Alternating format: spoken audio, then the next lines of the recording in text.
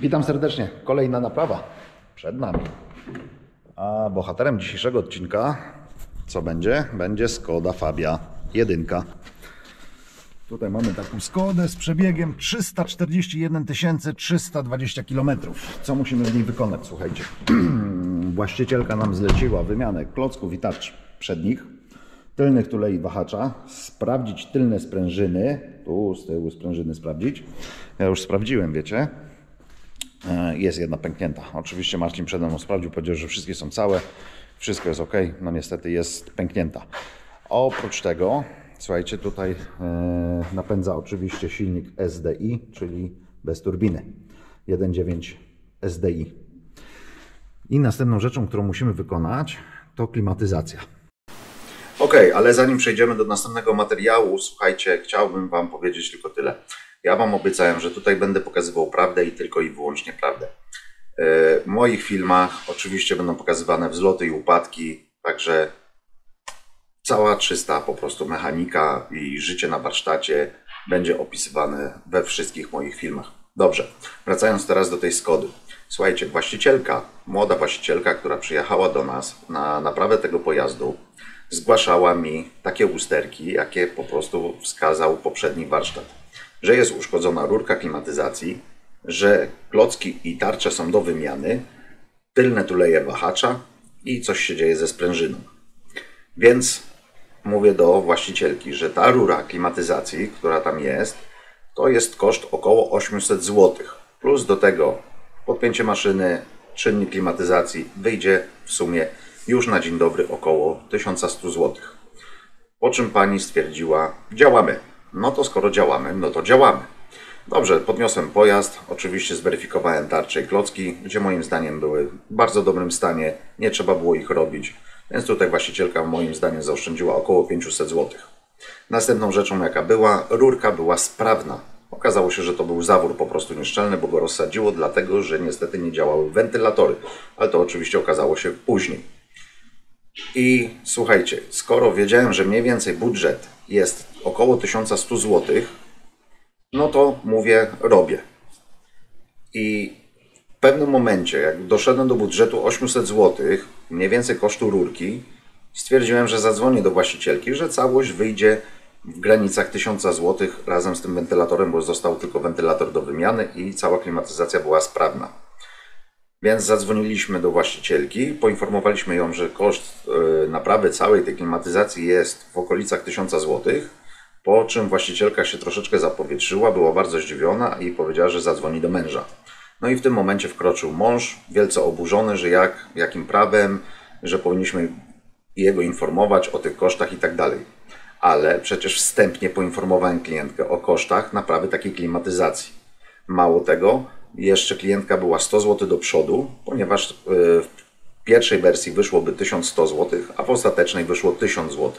Więc 100 zł była do przodu, plus jeszcze na tarczach, klockach jakieś 500 zł, czyli 600 zł klientce zostawałoby w kieszeni, tak? Moim zdaniem tutaj e, niestety wkroczył mąż, o, który nie był w ogóle poinformowany o niczym, podejrzewam, że nie był o niczym poinformowany przez klientkę i stąd pewnie wyszła ta bulwersacja i tak dalej. To nie jest tak, że ja nie informuję klientów, zawsze informuję przed jakąkolwiek usługą klientów. Ci, którzy byli u mnie, zostawiali auto, wiedzą jak to wygląda, wiedzą, że ja dzwonię, informuję, mówię o kosztach. Także co, zapraszam Was na materiał. Dobrze, słuchajcie, sprawdziłem tą tarczę. Tarcza nie ma w ogóle bicia. Ani jedna strona, ani druga strona. Tarcza wygląda naprawdę dobrze. Rand jest tak minimalny, zresztą po przemierzeniu ta tarcza jest prawie nowa. Nic z nią nie jest, nic jej nie dolega. Nie ma sensu jej wymieniać. Właścicielką jest bardzo młoda osoba, bardzo młoda dziewczyna. Nie będziemy naciągać na koszta, bo podejrzewam, że się jeszcze uczy. E, zadzwoniłem do właścicielki z pytaniem, dlaczego chce wymieniać klocki i tarcze, ponieważ stwierdziła, że była na jakimś poprzednim warsztacie, który tam diagnozował tą klimatyzację i kazał wymienić. Dobrze, jestem już z powrotem. I teraz tak. To jest klocek, który zdemontowałem sobie z tego zacisku. Zobaczcie, tutaj jest połowa klocka. Lekko, jak nie więcej. Ponad połowa klocka. Nie ma sensu. Nie ma sensu naciągać właścicielkę tego pojazdu na kasę. To jest jedna rzecz. Druga rzecz, te tuleje też mi się nie podobają, że niby zerwane. Zaraz sobie oczywiście posprawdzam, czy one są faktycznie zerwane, czy nie. Moim zdaniem na pierwszy rzut oka nie wyglądają na zerwane, więc też nie będziemy naciągać na to. Tu oczywiście już sobie wyciągnąłem, zobaczcie, tą gumę stąd. To, co Wam mówiłem, że tu trzeba oczyścić. Ja wezmę Dremela, oczywiście tu oczyszczę z tej rdzy. Tak jak tu macie tą gumę właśnie całą zardzewiałą, gdzieś mam nowe, to wstawimy klientce nowe te gumy.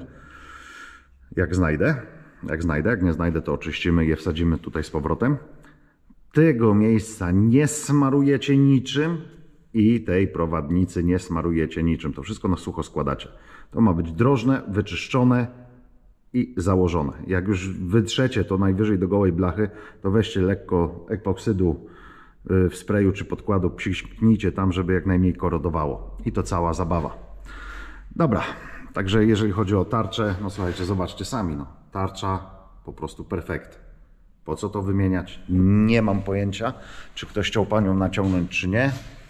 E, jedynie co, słuchajcie, pani sobie sama zdiagnozowała pojazd i stwierdziła, że coś się dzieje ze sprężyną. Tak, ze sprężyną się dzieje, sprężyna jest tutaj pęknięta, jak możecie zauważyć. Jest na górze pęknięta sprężyna, to jak najbardziej trzeba wymienić. Ale układ hamulcowy, który diagnozował jakiś warsztat, nie ma sensu. Nie ma najmniejszego sensu. Słuchajcie, nie naciągamy ludzi. Też chcielibyście mieć kasę, prawda? Dobra. Robimy co mamy robić i będziemy się pewnie za niedługo widzieć. Dobrze, i zobaczcie. Bierzemy takim dremelkiem, czyścimy dookoła całą tą rdzę stamtąd, bo przez tą rdzę właśnie e, ta prowadnica Wam tutaj uschnie i się zablokuje. Także czyścimy sobie delikatnym papierkiem ściernym, takim dremelkiem. Jak wyczyścimy, wrócę do Was. No i dobra, zobaczcie. Mamy tu zapsikane, wyczyszczone. Ja to tak delikatnie epoksydem robię. Chodzi o to, żeby jak najmniej ta rdza tam się dostawała i żeby to nie rdzewiało. O, wskoczyła. Dobra. Na sucho, bez żadnych smarowideł. Dobra, mamy te klocki, to wszystko poskładane. Zobaczcie, sucha prowadnica i suchą prowadnicę. Patrzcie, palcem wchodzi. A nasmarowana oczywiście, że Wam wejdzie od razu, tylko że przy temperaturze i niestety tu jest guma, ona się zrobi twarda i nic z tego nie będzie. Proszę bardzo. Jeżeli mi nie wierzycie, wejdźcie sobie, tak jak mówiłem już wcześniej, na stronę AT i zobaczcie, że tego się nie smaruje. Dobra. Jeżeli Wam prowadnica wchodzi do jarzma, tak, tam smarujemy. Ale jeżeli ona jest tak jak tutaj, w tej gumie, to tego nie smarujemy. I teraz tak. Pani powiedziała, że była Pani na serwisie. Serwis uzupełniał czynnik. Wróciła Pani do serwisu, ponieważ przestała chłodzić. Serwis tutaj się schylił i powiedział, że ten przewód tutaj od HP tak, jest do wymiany. No widać, że jest mokro. Ale słuchajcie, to nie jest tak, że ten przewód jest do wymiany, tylko tutaj mamy zawór. Ten zawór jest ciężko dostępny. Ja go zaraz wykręcę i Wam coś pokażę.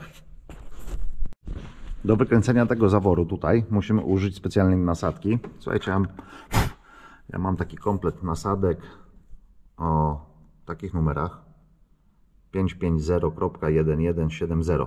To jest jakieś KS Tools. Do tego przychodzą takie nasadki. One są takie jakieś takie trochę dziwaczne, także tutaj nakładamy i będziemy mogli ten zawór odkręcić. A tu jest oczywiście do LP, czyli do tego drugiego zaworu, gdybyśmy chcieli go wykręcić.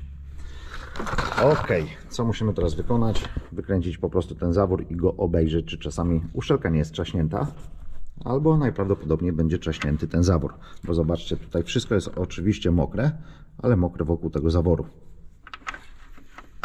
Także bierzemy, nakładamy i zaraz sprawdzimy. Dobrze, słuchajcie, mamy ten zaworek już wymieniony. No i co? Podpinamy maszynerię i sprawdźmy, czy to był tylko zaworek, czy może ja jednak nie miałem racji. Też mogło tak być, że nie miałem racji, jednak przewód jest trzaśnięty.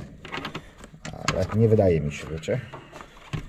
Jak znam grawitację, a chyba znam ją dobrze, no to raczej nie wierzę w to, żeby do góry leciało, tylko zawsze w dół.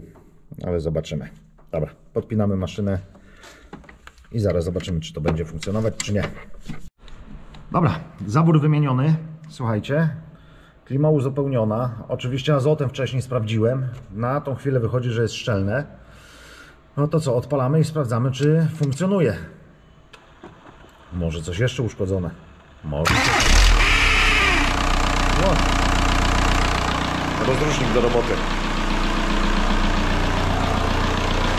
No to patrzmy na manometry. Na niskim idealnie wzorowo. Wysokie też jest ok.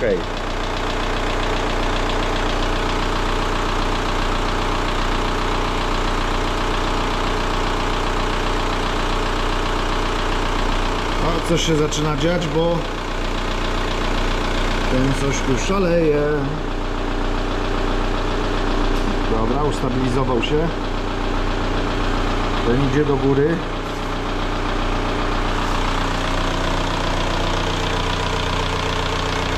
Wentylatory się nie załączają.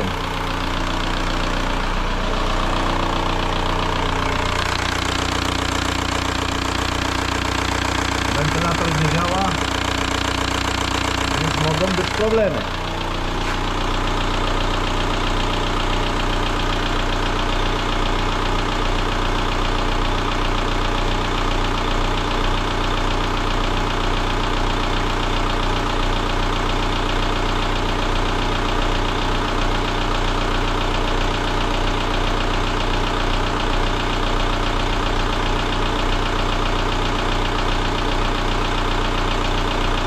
No i chyba będą problemy. Wentylator nie funkcjonuje.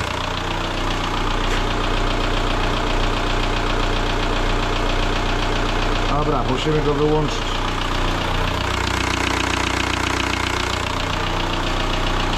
Piętnaście to już za dużo. Już za dużo. Już pod 15 podchodzi wentylatory nic. Dobra, trzeba zobaczyć dlaczego teraz wentylator jeszcze nie funkcjonuje. A jak u Ciebie tam na tym? 4. 4 stopnie, no właśnie. Tu mamy 4, czyli fajnie funkcjonuje. Ale jeżeli nie zrobimy wentylatora, no to nam rozsadzi układ klimatyzacji. Musimy zobaczyć dlaczego ten wentylator sobie nie funkcjonuje. Także bierzemy się za robotę. Ciąg dalszy. Szukamy przyczyny. Dobrze, słuchajcie. Yy, zawory są szczelne. Ten tutaj zapsikany pianą jest szczelny. No i ten oczywiście też szczelny. Jedynie co paruje sobie dym, bo ten przewód jest gorący. Jak widzieliście, niestety wentylator nam nie działa. Dobra, musimy znaleźć przyczynę, dlaczego ten wentylator nie działa. Możliwe, że on się spalił. Tego jeszcze nie wiemy. Podniesiemy auto i sobie obadamy to. Dobrze, co robimy? Podpinamy na krótko wentylator. I wentylator działa. Czyli wentylator mamy sprawny. Patrzcie teraz w jakiej pozycji Marcel trzyma akumulator.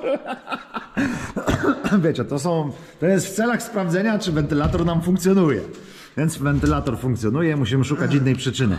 Dobra, trzymaj to. My działamy. Zobaczcie, Skoda. Tam ta Skoda. Co wentylatory się nie załączają. Mamy tutaj błąd. Kod usterki 705. Przekaźnik wentylatora powietrza. No dobra. Czyli coś z nim się dzieje. A tutaj mamy ten przekaźnik. To jest zespół przekaźników wentylatorów. Po otwarciu tam znajdują się przekaźniki i tak dalej, i tak dalej. To raczej tanie nie będzie. Sprawdźmy najpierw ile to kosztuje, a potem będziemy myśleć co z tym robić dalej. Używane? No, słyszeliście co Marcel mówił? 130, no ale drogo używka. To używka 130, a nowe 150? To coś. Aha, dobra, 2019. Może być. Okej. No dobra, słuchajcie. Pobawimy się chwilę. Rozbieraliście już to? Jak jeszcze nie, To poczekajcie, ja to wszystko odderwę, bo tu jest taki klej, klejosilikon. O, jak oderwę, to się zobaczymy i zobaczycie, co znajduje się w środku. Dobrze, tak jak Wam mówiłem już wcześniej, tu są dwa przekaźniki. Jeden i drugi. Tu jakichś kwiatków wielkich nie ma. Co się z tym dzieje? Słuchajcie, w 90% pomaga przelutowanie tych wszystkich lutów. Bo gdzieś tutaj lubią się wytworzyć zimne luty i najprawdopodobniej tu na tym styku już go widzę. Także przelutujemy całą tą płytkę, złożymy z powrotem i powinno zadziałać. Powiem tak, na 10 sztuk 7 zadziała. A czy ten zadziała? Zobaczymy. Dobrze, przekaźniki zamontowane po przelutowaniu. Jeszcze tutaj nic nie uszczelniałem, bo słuchajcie, nie wiem czy działa. Jak działa, oczywiście uszczelnie masą dookoła, żeby to miało ręce i nogi, było szczelne. Jak nie zadziała, zostało zamówione już nowe na jutro. Jak zadziała, to tam to oddamy. Miejmy nadzieję, że będzie działać. Opuszczamy pojazd, podpinamy akuku. O, ale jestem brudny. Podpinamy akumulator i zaraz zobaczymy, czy nam zadziałają wentylatory. Dobrze, słuchajcie, udało nam się już uruchomić to, że wentylatory się załączają, ale załączają się na maksymalnym biegu. Nie mamy wolnego biegu, a dokładnie ten jeden wentylator klimatyzacji się nie załącza, ale odnalazłem taką rzecz. Zobaczcie tutaj w tym miejscu, ktoś tutaj coś wycinał i ta instalacja jest lekko przegnita. Potrzymaj tak na chwilkę, ja Wam coś pokażę śrubokrętem. Tak, Przytrzymaj. Zobaczcie tutaj teraz na to. Wziąłem instalację, tu ktoś się ponakuwał w przewody. Tak zostało i oczywiście zielenina zrobiła swoje. Tu mamy następną zieleninę, zobaczcie. Odgarnę ten przewód. O, widzicie tutaj, w tym miejscu, gdzie mój pazur? Tu jest zielenina, tu jest przewód po prostu pęknięty. Niech ja sobie go złapię. I najprawdopodobniej on mi pęknie. Nie będzie miał styku. O, proszę bardzo. Widzicie? Jak zielono. Muszę całą tą instalację tutaj porozwijać i zobaczyć co się z nią dzieje i w razie czego ją naprawić. I zaraz właścicielka będzie mówić, czemu tak drogo? No, słuchajcie. Ano temu, że ktoś niepotrzebnie nakuwał przewody. O, tu jest przewód pęknięty. Popatrzmy sobie inne przewody jeszcze.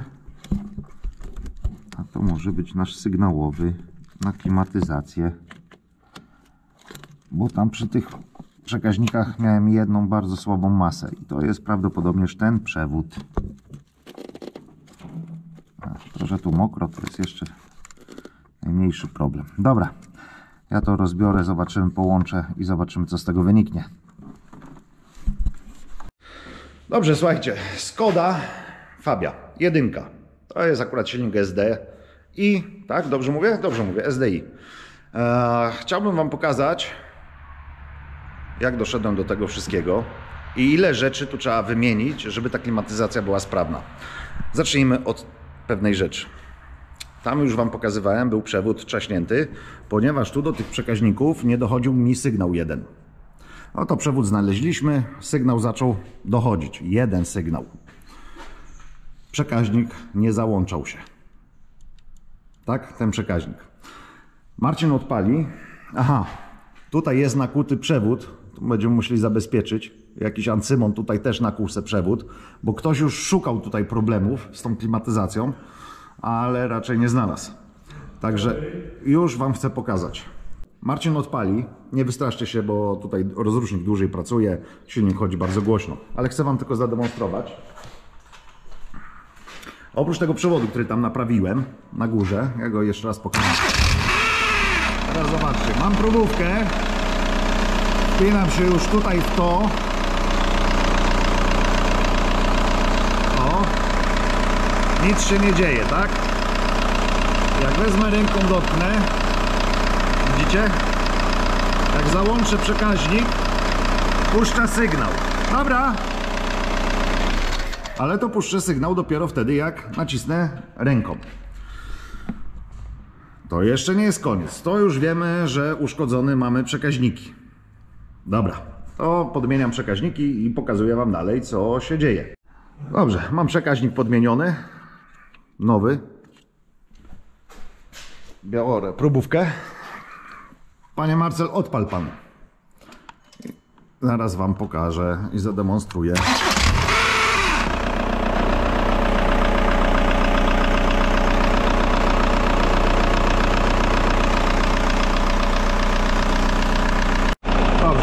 Teraz próbówkę i zobaczcie. Na nowym przekaźniku mamy sygnał. Mamy już sygnał. Dobra, możesz zgasić. Ok. Mamy sygnał. Wentylator dalej nam się nie załączy. Następną rzeczą, oczywiście, żeby tu puścić sygnał, brakowało nam jeszcze jednego elementu, który pokaże, jak już opuszczę pojazd. Ale wyobraźcie sobie, że tak, po wymianie tego dalej nie szedł sygnał. Nie chcę mi się opuszczać i podnosić auta dwa razy, dlatego teraz trochę przeskoczę o następną naprawę. Tutaj mamy wentylator. Ktoś ten wentylator wymienił. Słuchajcie, mamy tu wtyczkę, tu przewód, idzie, idzie, idzie, idzie i teraz coś Wam pokażę. Tylko sekunda wypnę wtyczkę. Dobrze, zobaczcie. Wypiąłem wtyczkę, mamy tutaj trzy piny, prawda? Tutaj, gdzie wychodzi już nam ten sygnał na wentylator, to jest przewód biało-czerwony. Takiej mniej więcej grubości. Więc do tej wtyczki patrzymy, gdzie jest ten przewód. No i jest to przewód na środku. Jak możecie zauważyć, mam nadzieję, że to widać, jest to na środku. Nie załączy Wam wentylatora, dlatego że ktoś, zakładając wentylator, założył wentylator z dwoma pinami. Popatrzcie, środkowy pin jest pusty. No, także do tego, oprócz tej instalacji, najpierw zaczniemy od tego. Czekajcie, ja już go opuszczę i już Wam wytłumaczę to jeszcze raz. Dobrze, mam ten pojazd. I zacznijmy teraz od początku. Widzicie zawór? Ktoś pani powiedział, że tutaj jest przewód pęknięty i dlatego to tu gdzieś leciało. Nic bardziej mylnego. Ten zaworek po prostu przepuszczał. Zobaczcie, całe 24 godziny i nie ma żadnego mokrego, nic tu się nie dzieje, wszystko jest szczelne. Ale czemu ten zawór strzelił? Przede wszystkim przez to, że właścicielka jeździła na tej klimatyzacji, którą ją, jej uzupełnili jakieś rok temu. Wentylator się nie załączał na małym obiegu, tylko załączały się dwa wentylatory, ale one się załączały przy 20 barach. Jest to wysokie ciśnienie, już za wysokie i gdzieś niestety to ciśnienie musiało ucieknąć. Na szczęście uszkodziło tylko ten zawór. Więc teraz, po naprawie tego zaworu, po uruchomieniu tego pojazdu, jak zobaczyłem, że ten wentylator się nie załącza, ten mały, czyli nie mogę tak zostawić klientkę, no bo chwila, moment i zaraz znowu coś wy, wysadzi, dlatego że nie mamy schładzania. Ok, tam, jak możecie zauważyć, tu w tym miejscu, o, tu już przewód został naprawiony, to było zgnite i nie było sygnału do tych tutaj na dole yy, przekaźników. Ok, dalej mi brakowało jednego sygnału na przekaźnik. Co zrobiłem następne? Sprawdziłem, którego sygnału mi brakuje i się okazało, tutaj macie, o proszę, zaworek, tak? Jest czujnik? Jest czujnik na przewodzie. Ten tutaj, oto właśnie sprawca, jest uszkodzony i nie puszczał nam jednego sygnału na te przekaźniki. Po wymianie puścił nam już drugi sygnał, ale się dalej okazało, że nie mamy sygnału na tamten przewód przy przekaźniku po odpaleniu na mały wentylator. Więc trzeba było jeszcze przekaźniki wymienić. Po wymianie przekaźników sygnał już nam się pojawił, było ok, ale dalej wentylator się nie załączy, bo co się okazuje, ten wentylator po sprawdzeniu jest z Audi i w Audi przychodzi wtyczka dwupinowa, a do Skody przychodzi wtyczka trzypinowa.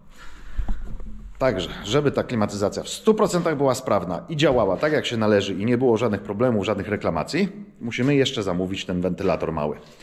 Marcel sprawdza po ile jest taki wentylator. No i co? Zadzwonimy zaraz do właścicielki, poinformujemy o tym wszystkim, co się tutaj działo. I tak naprawdę powiem Wam, że ktoś na początku dał ciała, bo założył nie ten wentylator, co trzeba. Gdzie i tak mu to nie, nic nie dało, bo nie działał. Po prostu nie działał. Ten wentylator nie działał. On tylko działał na dużym obiegu, wiecie? E, czyli jeżeli klimatyzacja była załączona, to dopiero jak nawet ten niesprawny czujnik wychwycił 20 bar, to i tak tyle dobrego, że wychwycił, tak, że jest 20 bar, dopiero załączał te dwa wentylatory. Ale 20 bar już jest na tyle niebezpieczne, że może Wam rozsadzić właśnie coś z instalacji na dłuższą metę, tak? No na chwilę jak podłączycie, nic Wam się nie stanie. Ale jeżeli dłużej będzie taka klimatyzacja pracowała, no to ona w końcu jakiś słaby punkt sobie znajdzie i go uszkodzi. Dobra, no było chwilkę zabawy. To tak jak Wam wczoraj shorta zrobiłem, że 4 godziny mi zajęło szukanie tego, tych całych przyczyn i tak dalej. Także już mniej więcej chyba wiecie, jak to działa, jak to funkcjonuje. Oprócz tego, słuchajcie, e, już Wam nawet mogę zademonstrować, bo tutaj mam. Tutaj macie bezpiecznik, który idzie na wentylatory, a tutaj macie bezpiecznik ten, który, ten zielony, 30, który idzie na klimatyzację. Dobra, czyli mamy klimę ogarniętą, zaraz się dowiemy ile ten wentylator. No i niestety, no co, jak Pani zaoszczędziła na klockach i tarczach, tak niestety na klimatyzacji Pani utopiła. No ale to już nie moja wina, tak? Po prostu to był tak zwany czynnik błąd ludzki, podejrzewam.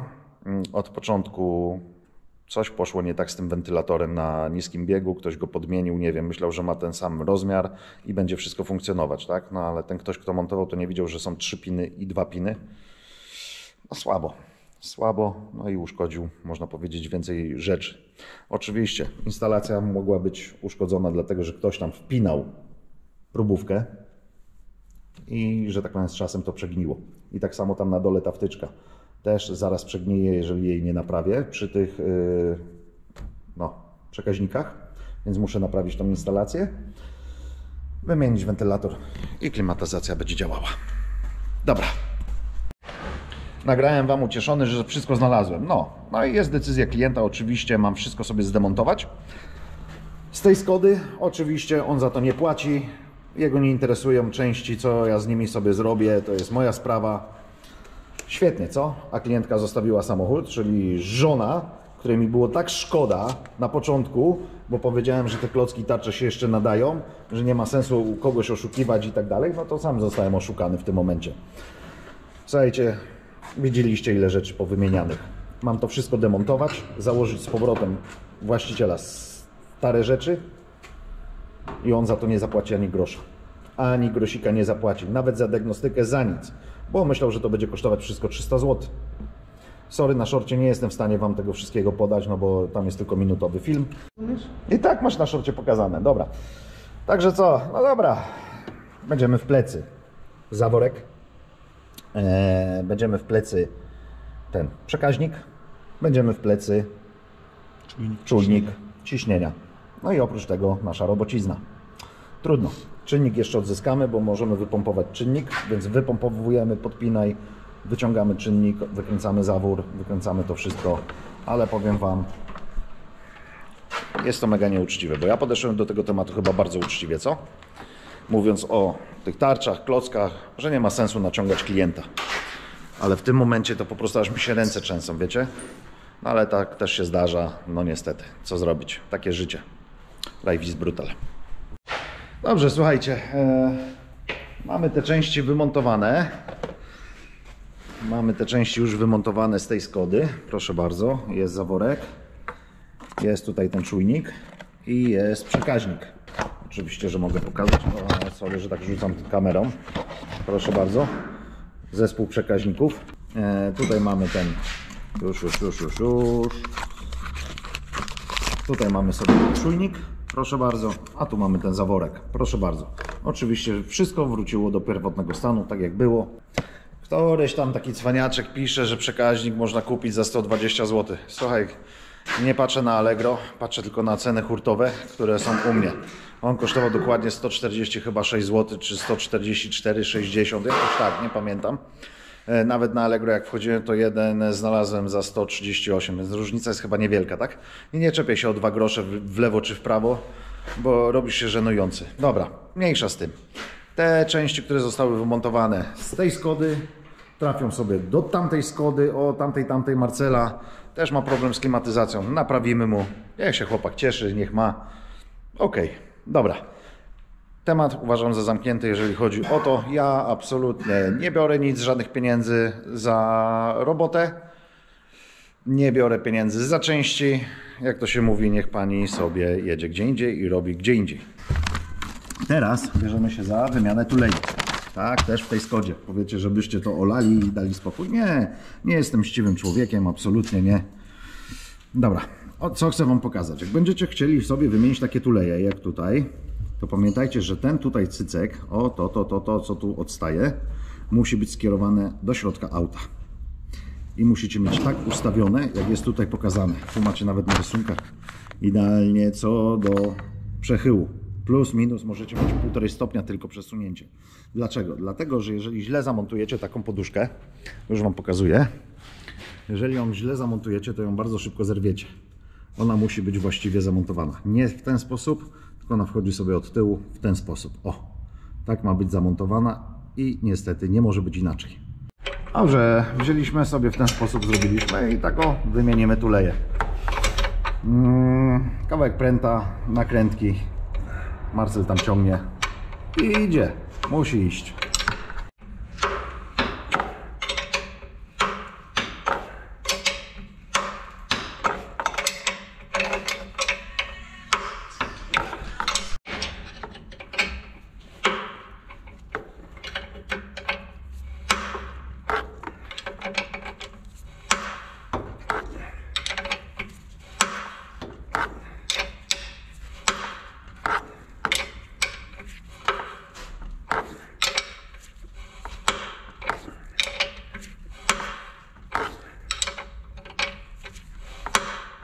Się zbliżasz do końca.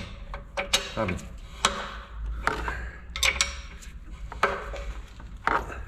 Jeszcze, jeszcze.